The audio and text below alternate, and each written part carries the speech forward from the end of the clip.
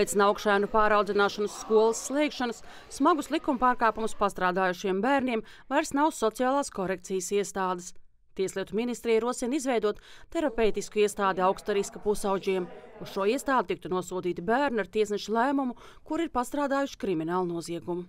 Terapijas mājā nonāks tie bērni, kuriem ir nepieciešama viss, vis, kuriem ir viss, vis, vissmagākie šie uzvedības traucējumi, kuri jau ir izdarījuši noziedzīgus nodarījumus, kuri ir bīstami citiem vai apdraud paši sevi un par kuriem ir secināts, ka visi iepriekš piemērotie korekcijas līdzekļi un terapeitiskie līdzekļi nav devuši cerēto rezultātu. Par terapeitiskās mājas izveidošanu vēl jālēm valdībai.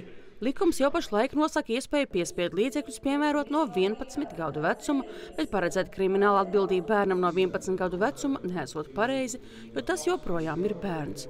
Saimas juridiskā komisija pie problēmas risinājuma sola atgriezties pēc mēneša. Nav vienas iestādes, kas var teikt, jā, tas ir mūsu klients.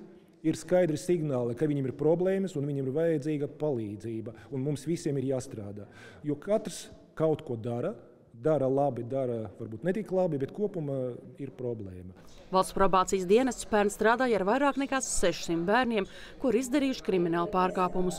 No tiem 13 bērniem ir piemērota jauna dienesta funkcija - probācijas novērošana, bet 36 bērniem - sabiedriskais darbs. Veicam visas nepieciešamās darbības, lai pilnībā izprastu iemeslus, kāpēc attiecīgais bērns ir nonācis šādā situācijā, kad viņš izdara likuma pārkāpumus, kad tā skaitā viņam ir izveidojušās atkarības un ko ar šo visu darīt, gan arī piesaistam speciālistus no malas.